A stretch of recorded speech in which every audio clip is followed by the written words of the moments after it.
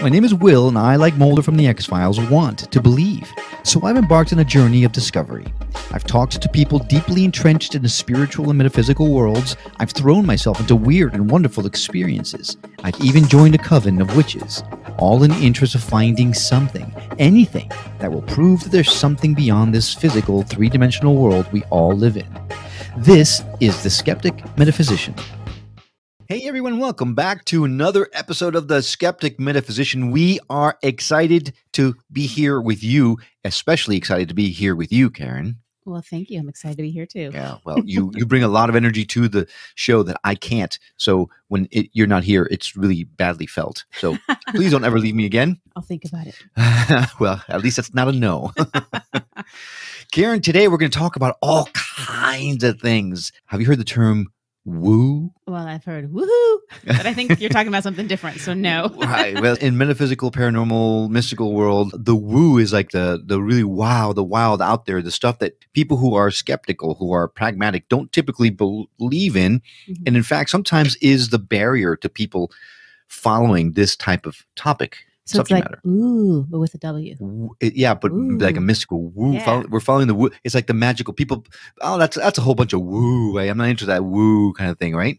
Well, our next guest has a show that's called Follow the Woo. And let me give you the intro because I'm already driving the show into the ground. So, queer empath witch Fen obsessed with discussing the magical and the mystical. Sounds familiar. She's apprenticed with gurus, been mentored by shamans, and worked with dozens of healers, sages, and mystics. And, like I mentioned, hosts a podcast called Follow the Woo. Now, in each episode, she follows her intuition wherever it takes her in and around topics like witchcraft, meditation, the paranormal and supernatural, aliens, and fae encounters. That's a fairies for those that are not initiated. Spirituality, gurus, shamanism, all the woo.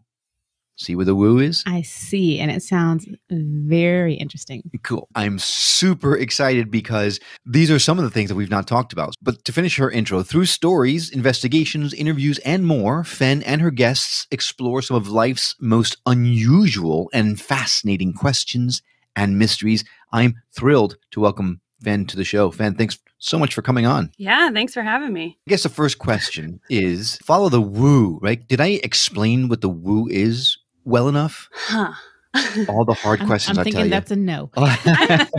no, you know what? I think you did pretty well. Yeah, it, it's it's started as a derogatory term. The woo woo, you know, it's sort of. I- I think it's yeah, it covers all of those things. All of the weird high strangeness is maybe like a synonymous word. So then why call your show Follow the Woo? Well, that's super simple. Like nothing is more interesting to me than the high strangeness or the woo. So I and I naturally follow it anyway. I always have, just where wherever mm-hmm. it leads me. And the podcast sort of just is an extension of the way that I was already living my life. So you consider yourself, let me go back to your bio real quick, an empath witch. Now, we know what an empath is, we know what a witch is, and put, put them together, we kind of have a pretty good idea of what together that all means. But there's a lot of different, I guess, types of witches, right? So are you the Wiccan witch or are you just like a solitary practitioner witch? What, like, how, why do you consider yourself an empath witch? empath witch is sort of just like a, a term that I created, which a lot of witches do because they're like, well, what, what, you know, even like a cottage witch or a green witch, some of those are a little older, but it's basically taking witchcraft is all about like taking your strongest skills and then smushing it together with your craft. So that's where the term empath witch came from. But as far as like Wiccan versus solitary, I started in a Wiccan coven. Actually, it's an order, so it's many, many people in the order. And then now I'm doing more solo solitary work. But what it's interesting, you are in a coven as well. It says in your intro. it does. It says that. I actually did join a coven, but I'm no longer part of it. It was a long time ago back in my crazy Miami days. I was I joined I joined a coven because I was looking into this like you, I was following the woo. I wanted to I wanted to believe in the woo. And one of the things I did in that search was throw myself. I, I Karen will tell you. I when I look into something, I throw myself into something. I mean, I throw myself into something. So I don't go mm. at it half-assed. So if I'm going to look into witchcraft, and I'm gonna I'm gonna join a coven and that's what I did. So I have a question then. So you joined a coven back in the day. Wait, I'm not the guest. No, I know, but I'm asking. well, this is actually for both of you. Okay. So is it like so now you're not in the coven anymore? But is it like once a witch, always a witch, or when you leave the coven, are you no longer a witch? Like, are you still a witch? And I haven't known that for all these years. I'd love to hear Fen's answer to that. I think that's a great question. I was just thinking, I, I mean, I, I- it depends on the person. It depends on if you want to continue to be following the craft. And I'm actually curious as well. Are, do you still consider yourself a witch? Do you still practice the craft? I would say not in its purest sense of the word. The craft. I've, I'm not part of a coven anymore. I don't really do rituals that you associate with witchcraft. I'm more spiritual. Like, how can I explain this? right- Back in the day when I was exploring all these things, I looked into Buddhism, I looked into Judaism, Christianity. One of the things that just happened to look into was was Wicca, and there's a lot of it that I really loved and enjoyed. But there, it was still some things where I couldn't wrap my head around the whole woo-ness of it all. It just, it was, it just felt like I'm trading one God that I'm worshiping for another, and the whole worshiping thing was difficult for me. So I instead I tell people that I'm, um, you've heard the term spiritual but not religious. I'm very much that. I, I'm the family belongs to a Presbyterian church, but I'm not really consider myself Presbyterian. I am more about inner work and trying to be the best person I can. I explore different avenues of things, like if we we actually did talk to a witch on the show and afterwards reached out to her to do a, a working for us, right? We've we've done that before. So I just follow whatever feels right because at the end of the day, that's what's right for you is not necessarily what's right for someone else. It's just you got to follow your own path. Yeah, absolutely. And th- uh, let me be clear here too that like the craft itself is evolving. So there are and I will be the first to say that like there are things that are problematic about Wiccan specifically in general. uh, Well, specifically and in general. But like if you're thinking about witchcraft in general, Wiccan does have some there are some some problems with it and I agree with you. I'm spiritual, not religious, and and when you get hung up on the pantheons in witchcraft, you know, it's like, I don't know, who are we worshiping in this ritual? it's kind of like, okay, well, I respect that viewpoint, but it's not necessarily like what I need to be doing every day in my personal magic practice. I don't I don't need to be calling on some Greek god. In fact, I, I almost always want to leave out the gods and just focus on the goddesses. So that's for for many, many reasons. But yeah, mm, I Right. totally know what you mean. So, Fen, you've mentioned a couple times. You asked, well, if he's still practicing the craft. What What does that mean, the craft? Because I know nothing. This is one thing that I really know nothing about. Wow, have Well- we not talked about this? Not too much. Hmm. No. Well, I th- again, witchcraft is always changing, but I think I mean the craft is short for witchcraft, but it Mhm. it's just sort of your personal it can be ceremonial or ritual magic practice. And it's it's so broad though. It really depends if you're talking about like Aleister Crowley people and like the Thelemites. That's a totally different brand of the craft versus Wiccan the craft versus solitary Alexandrian. practitioners. Mhm. Yeah, or or how about just now why can't I think of it? Hereditary witches, right? Who Right. have like a lineage of that, but they don't do anything that's in Wiccan or Thelema or blah, you know, all of the different areas. So it's really just your brand of magic is the easiest way to put it. Remember there there was a movie called The Craft back in Yeah. the day. Where it was all Such- about you know, these these girls who, who joined or wanted to, to be who joined their own. I think they created their own coven. I think, but it was great. It was an awesome movie. It's a fun Uh, one. It's, yeah, not necessarily seeped in trueness, to for lack of a better word, but but it was. no, or truth. yeah. so to, to me, to me, the craft is like is like a or lifestyle. truth. Not trueness. but, you She's know, making whatever. fun of you. And and this is why we bring Karen on the show. Yeah. Uh, but, but to me, the, the craft is is like the lifestyle, right? It's a it's a type of the way that you live. It's you live the craft in lots Yeah. of different lifestyle choices out there. But okay, so then let's. Uh, what really struck out at me with with your intro that you sent over, uh, your bio, is the topics that you cover on the show. Now, having been a part of a coven, we do a lot with the fae and spirits and all that kind of stuff. But and and there are people who truly will swear that fairies are real and as are everything of the old Middle Earth type of creature, so to speak. But you've also talked about all kinds of things like aliens and things like that. So, what if there was one thing that really has jumped out at you through the time that you've done your show? What what has been the most shocking thing that you have discovered? Ooh, there's been a lot. Um, Let's take them one by one. yeah, I, I would say the the weirdest, the the one where like when I got off the call, I was like, oh wow, I think I need to take a walk, or maybe call my therapist and like move my appointment up. Like I, I, I just was. This was this is a tough one. It she had told me that she had been abducted by aliens in real time, not not a mental imprint, which often it's just sort of something that's going on mentally, which is complicated in itself. But it was real time. Like someone came into her actual room and she also told me about her how she had been impregnated by a number of aliens and had not one or two alien hybrid human kids, but like dozens of them. Wait, wait, wait.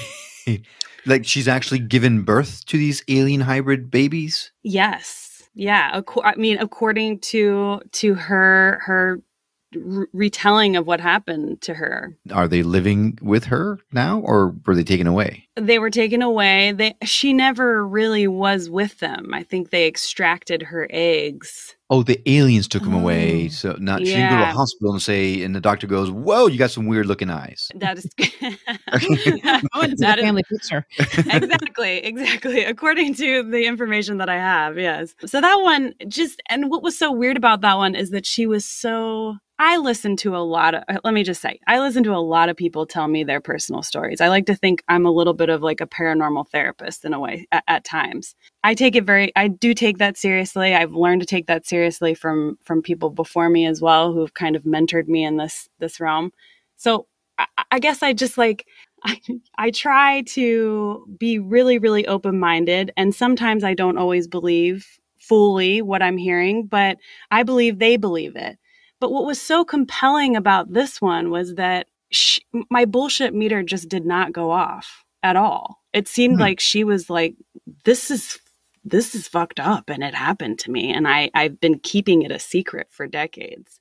So that was kind of mushy in my mind for a while, as you can imagine. yeah, that opens up all kinds of doors that probably rational thought doesn't want to open up if that's indeed the truth. Uh, that and would- it could be. It, it very well could be. So mm. one of the things that I think longtime listeners will know is that Karen and I are very much of the believe everything to a certain extent, right? It's it's more mm. about whatever this person is saying, they're saying it because they truly believe it or they have lived it or whatever. So who are we to say that it can't be real? We're, we we've talked to people and we actually we just talked about witchcraft, right? Mm-hmm. And if eh, there's some people that think witchcraft is a bunch of baloney, but you and I, who have been in a coven, have probably likely seen the results that come from the actual focus of the energies to get something accomplished. So it is for sure a thing for me, right?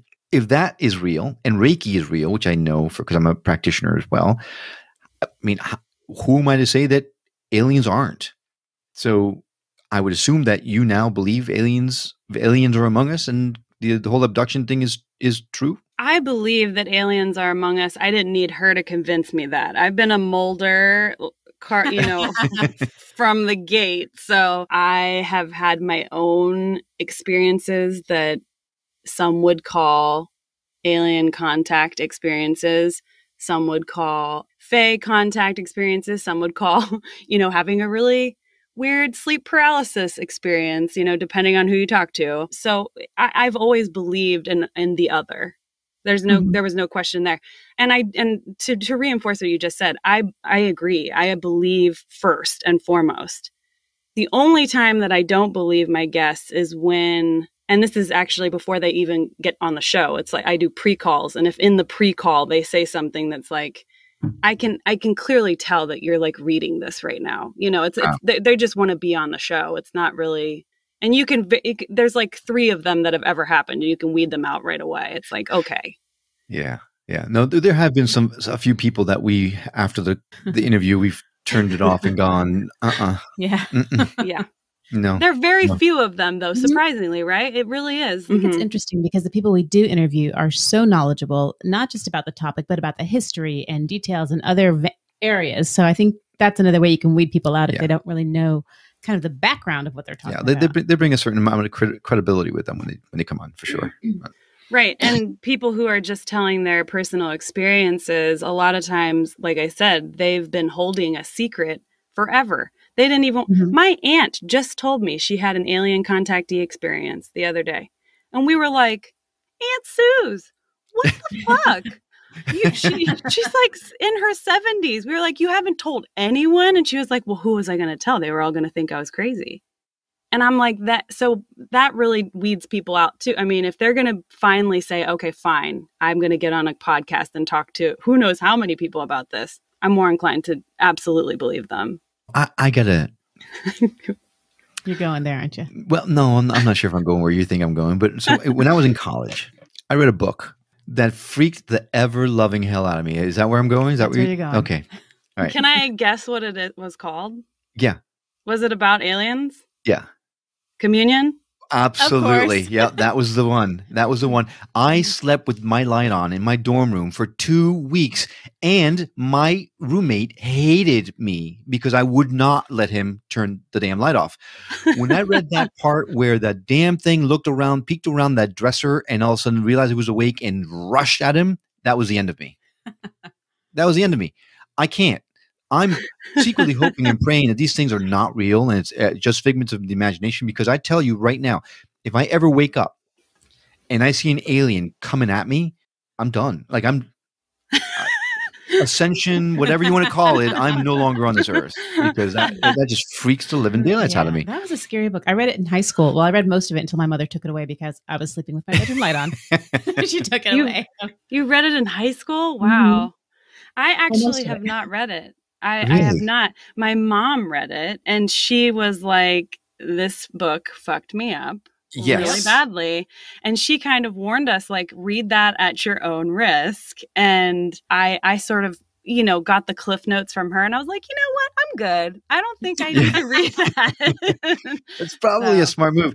So, um, for people who don't know about the book Communion, it was written by Whitley Strieber, who's a prolific writer, uh, but he actually was having challenges, and he went to a therapist who put him under hypnosis. And there's a there's an affidavit at the end of the book from the hypnotherapist saying this is true true facts. This is all it's all came out as it was written, and it tells of the history that his whole family has been abducted repeatedly over the generations and through therapy or hypnotherapy he remembered the times when it happened to him and these things are not for the faint of heart Right? The- the- if if you're ever i i am not going to sleep tonight just thinking about it now No, we should Uh, read it Oh, again. no. read it together. Oh, no.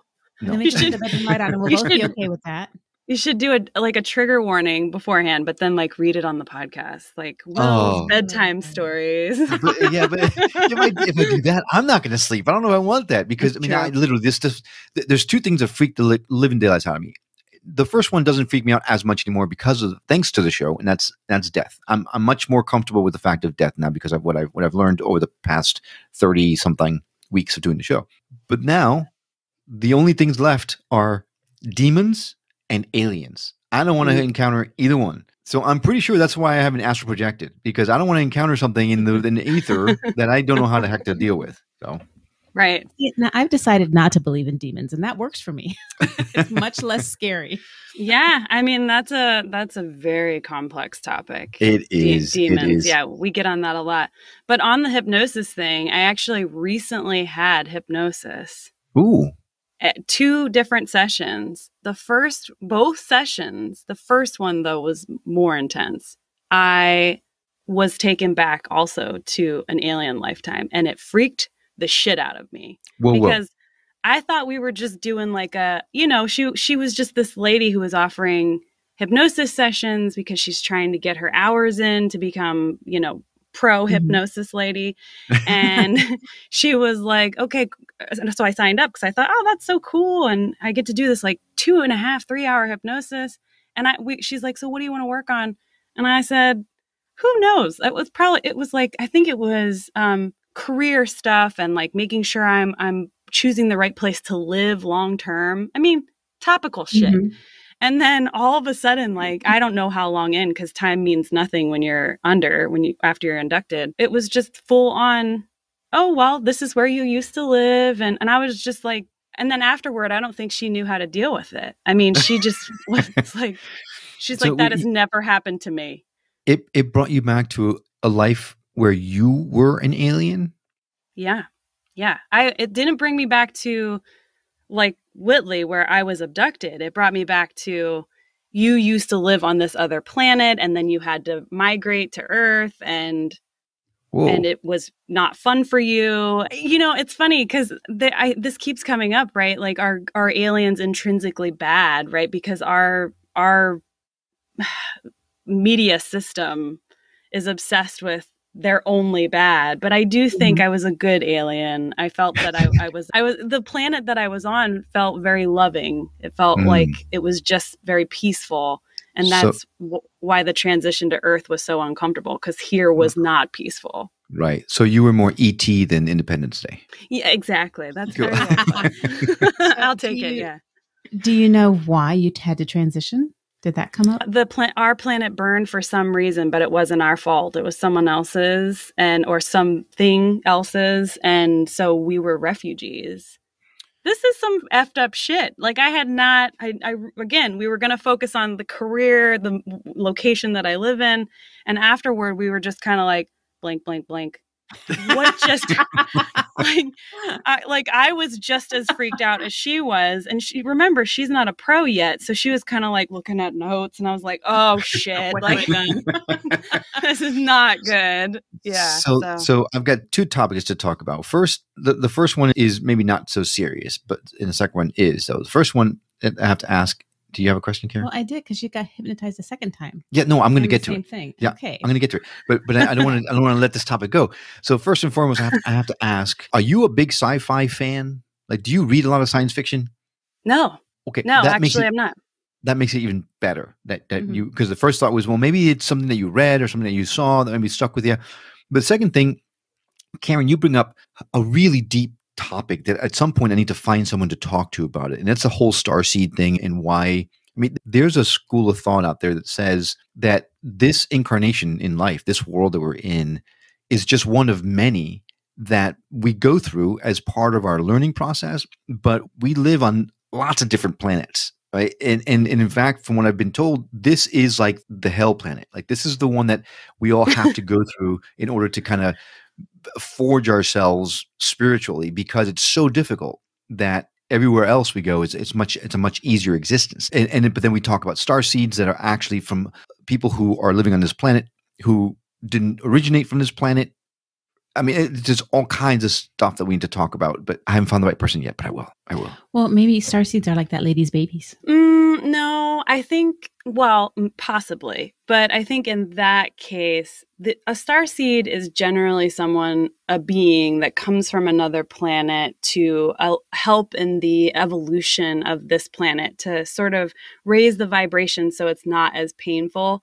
It seems right. like whatever the aliens were up to with her, they were just like, let's, she's got some, some DNA we're into. So let's make all these little like baby hybrid minions and uh, I don't know what they're doing with them, but that that that seems like they have another mission. I don't know if it's like I think that's the topic of of Bachelor Party 4 that's coming out. nice. I mean, they, they could be for other planets. You know, they could be making these star seeds for other planets. You you know what? That's a good point. That is a good point. That they could be. Anything uh, could be as far as the woo goes.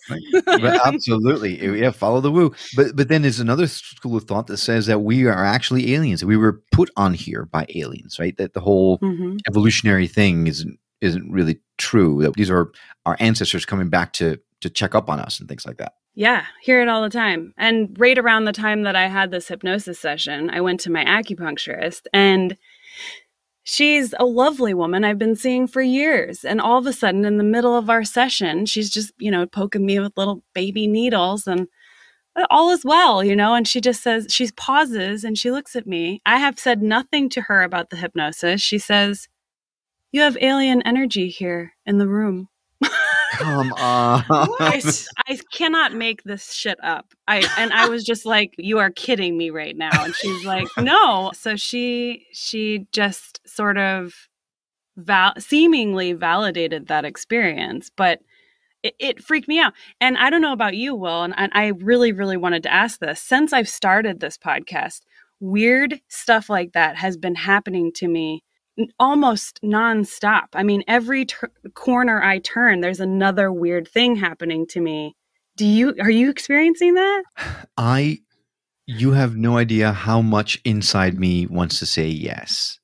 But uh, I was I just had a, a conversation last night with someone I, I appeared as a guest on someone else's show. And she mentioned to me after we stopped taping that I'm blocked in a pretty big way. There's there's something inside me that is blocking me. But have, I know. I just want to tell you to eat more fiber. I'm sorry. That's the 12 year old in me. Oh, do you have a blockage, Will? How did I not think about that? For God's sake! I know. I was Metamucil that was uh, that was good. That was good. But yes, I've, I've been I've been trying to, to get all the woo in my life as much as possible. The, the the one thing that's been happening is I'm seeing the number the the eleven eleven a lot all the time. It, it pops up, but that's about it. Apparently, because I'm not opening myself up, it's not happening to me like it should. I guess, mm-hmm. and it's something I, I have to look into for sure.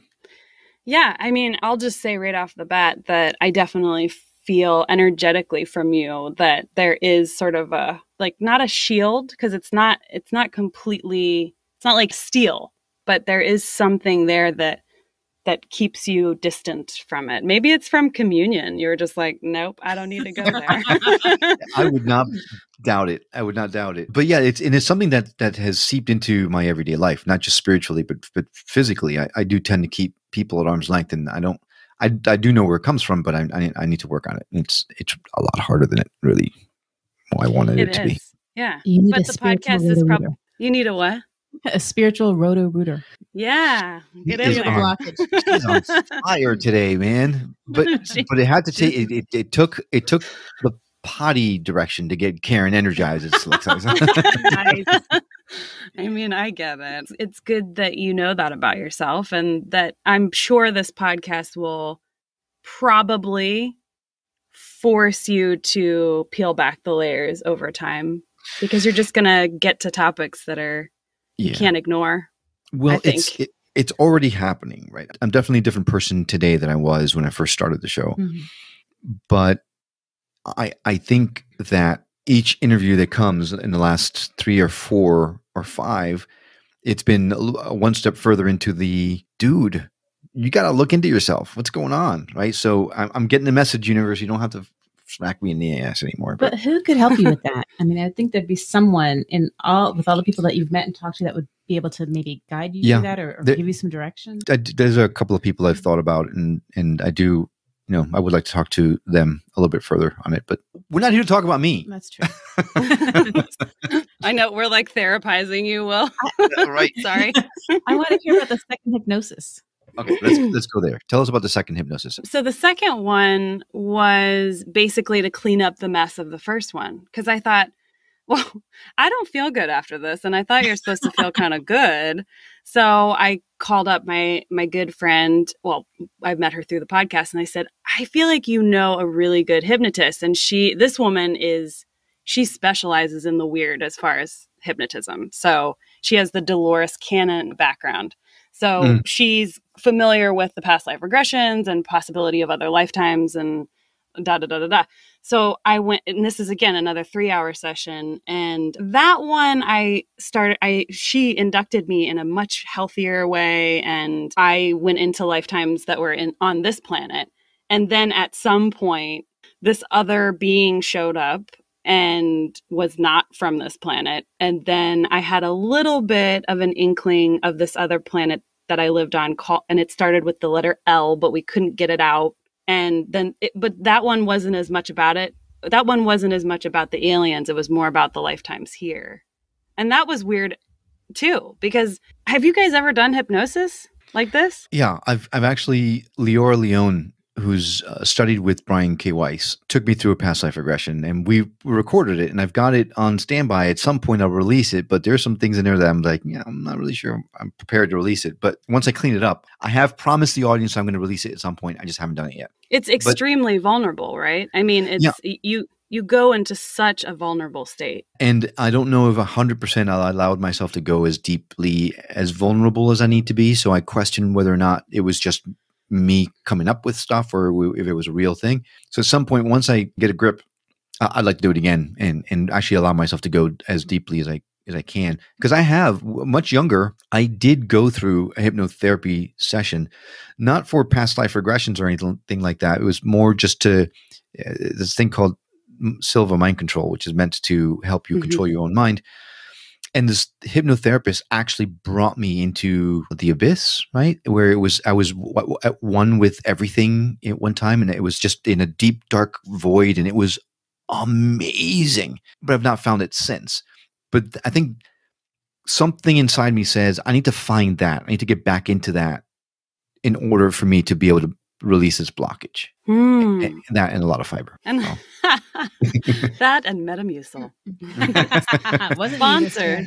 Skeptic Position by... brought to you by Metamucil. exactly. yeah, that's really interesting. And you brought up Brian Weiss, who it, oh, that book, Many Lives, Many Masters. Mm-hmm. changed mm-hmm. my whole life and i think that if more people knew if if the average person knew about that book I think they would really think differently about the possibility of past lives. Yeah, I really I, do. I agree. I agree. And, and, it's, I mean, this guy's a psychiatrist. This is not, this is not a, a wooer, right? This guy's a scientist. This is, he was shocked by his findings. Mm-hmm. People were talking in different languages that they, they did not know in this lifetime. Uh, I mean, they knew things that were verifiable. There's all this stuff that there's really, like you said, there's no doubt if you read it what it is. And there's a few mm-hmm. books like that that I found some are questionable, some of them are not. Uh, but Brian Weiss's book, Many, Many Lives, Many Masters, is was one of the first books I picked up in, in, my first when I started going down this path. But then I started picking up things like Dan Millman books, like The Way of the Peaceful mm-hmm. Warrior and Celestine Prophecy by Redman. And and now my big thing is, you know, the Wayne Dyer books, like 10 Secrets mm-hmm. to Success and Inner Peace and Conversations with God. Mm-hmm. And for so long, I fought with that term God. If the conversations with God, it's got to be about God, religion, and I just wasn't into it. But then when I picked it up, I realized it was not that at all. Suddenly, it changed my life. It was it was mm-hmm. amazing. Neale Donald Walsch, right? Yep, yep. Neale Donald Walsch. His he had a Conversations with God for Teenagers book, and I too had trouble with the term God I still kind of do sometimes, but I'm I'm getting better with it. And I had one of my like earliest sleep paralysis experiences after I read that book. It was like I had some kind of download and I just knew that the stuff that he was saying was was real, was true, I guess is a better term. And that that and the Celestine prophecy was really what spurred this when I, I read Celestine prophecy when I was like 15 or something and I, I you know the mind was like because b- back right. then that was that was like a really it was there weren't as many books like that i guess. Or well the new age movement was happening mm-hmm. in the 80s so maybe there were but it wasn't that one became sort of strangely mainstream. It did yeah but then then you you go back even further to the 70s during the carlos castaneda books and um, yeah. what richard bach right uh, one which was one of my absolute favorite books but, i love richard bach. Yeah yeah so i mean there's there's a lot behind this whole movement but i think i don't know do you feel that there's an acceleration going on? Do you see more and more people turning onto this kind of stuff? Do you think the veil is thinning? What, what what are your thoughts on this stuff? Short answer is yes across the board. I think the veil is thinning. I think that people are awakening. I feel like we're at this really interesting binary moment, right? Where, where, this planet is binary. It's that's what probably makes it what you were referring to earlier is like this is the hell planet. It's because it's so polarizing. And I think at the same time, right before something shifts, like evolutionarily speaking, there is that that tension between the two extremes. And so I think we're seeing this extreme shit show on this planet. And then at the same time, more people than I've ever seen before interested in the woo, the um, the I'll use that umbrella term. Right. And I think people are starting to ask questions. They're starting to investigate the interior of themselves more, I'll say. And I think that's really exciting. And I think when I talk to people who work with ghosts on a regular basis, you know, like that's just a Tuesday for them, they tell me, you know, I don't experience that. But when I talk to them directly and I trust them, they say, usually the ghosts go back after Samhain, after Halloween. They stay around for a while, but then the veil kind of closes back up. And they've been telling me that it's they're not going back. They just keep staying through spring and summer and fall. And so they're all kind of confused and chaotic.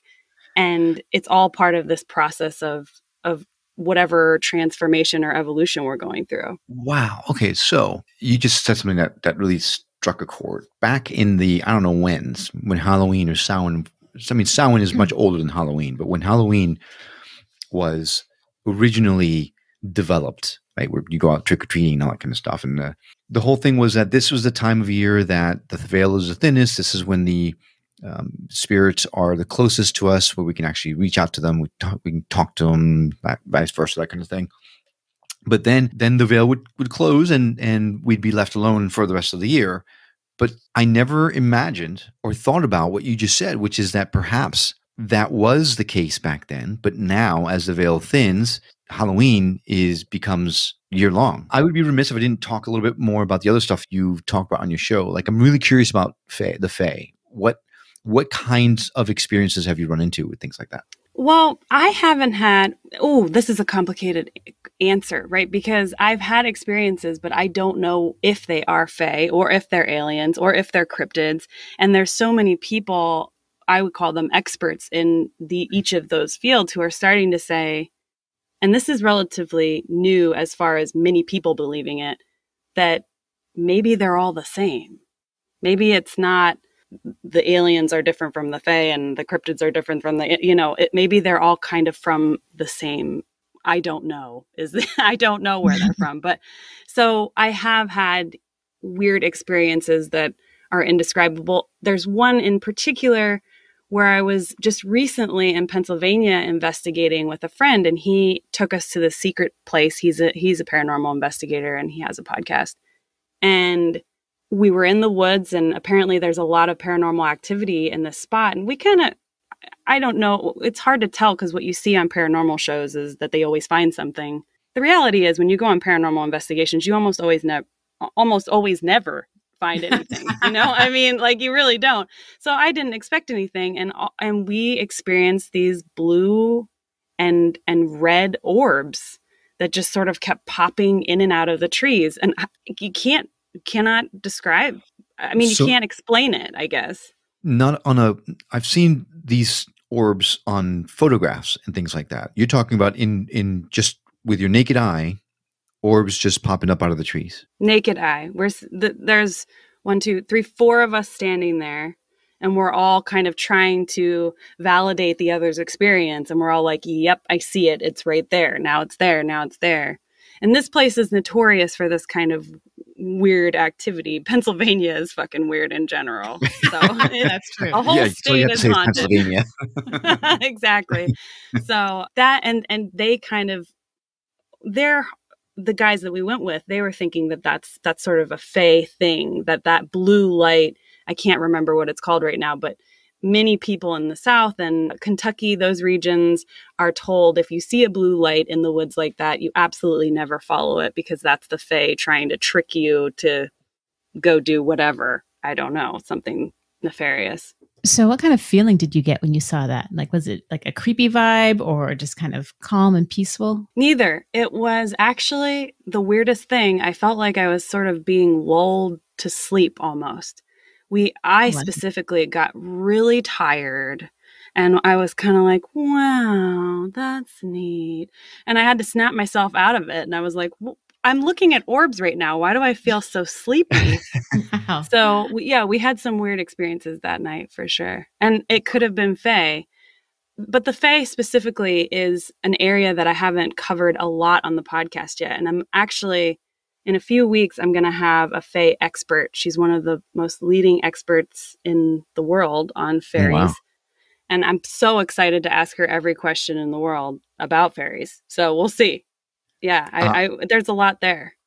I will be listening in. I look forward to listening to that. All right. Well, I I feel like we could talk forever because yeah. we have so many different topics that we can we can chat and you've got a re- really fun way of explaining things and i i mean literally i would sit here with a beer and just talk to you all night long. The show's called follow the woo podcast. If someone wanted to listen in or reach out to you what's the best way for them to do that? You can listen to the podcast anywhere you listen to podcasts. itunes i mean liter- literally any of the platforms it's on. And then if you want to, if anybody wants to reach out to me about their personal experiences, you can email me directly at followthewoo at gmail.com. And I get the coolest emails about the weirdest shit all the time. So if awesome. you think it's weird, it's not that weird. Prom- I promise. Do you read some of these on the air sometimes? I don't. I try to. I had. I had never even thought of that. I guess mostly because I try to keep things like as confidential just right. Mm-hmm. as they'd like in the beginning, at least. But. I guess I could do that oh, if they said it was okay. Get permission, and I'd be curious to hear some of them myself. Dear Fen. ah, it's a saw. new column in the Times. yeah, yeah, there we go. well, Fen, th- thanks so much for taking the time and, and, talking to us about your, your show and all your experiences. I'd love to love to stay in touch and see how else we could we could mess the world up. Yeah, absolutely. Thank you so much for having me. And I agree. If you would like some time to to do a Zoom and and you know have a beer and talk about weird shit, just let me know because that's my favorite thing to do. So yeah. that would be fun. Mine too. Cool. All right. Well, th- well, thanks again, and Karen, thank you so much for coming on the show again. Oh, a- yeah, Karen, great job. You're the best. Thank you. I favorite. I, I see a, a, new show coming out of this at some point. uh, and, and listener, I want to thank you too for coming along on this journey of discovery with us. Love to continue our conversation with you on Facebook and Instagram. So feel free to find us there under at Skeptic Metaphysician, or you can always go to skepticmetaphysician.com where you can find all of our direct links not only to our social media platforms and to those of our guests, but where you can also subscribe to the show directly, or you can leave us a review or voicemail directly on the site. And like Fen, we will keep it anonymous if that is what you prefer.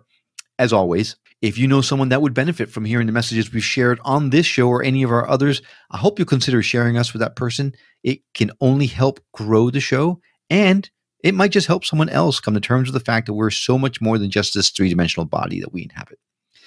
Now, if you miss any of our show today, if you're listening to this on the radio and are curious about this or any of our other episodes, you can find them all on our website, skepticmetaphysician.com. And there you can also become a member of the community and enjoy added benefits of discounts and services from some of our past guests right there on the site. Well, I hope you enjoyed the episode as much as I have, Karen, because I had a ton of fun. Oh. Sadly, that's all we have for now. But thanks again for joining us. We'll see you on the next episode of The Skeptic Metaphysician. Until then, take care.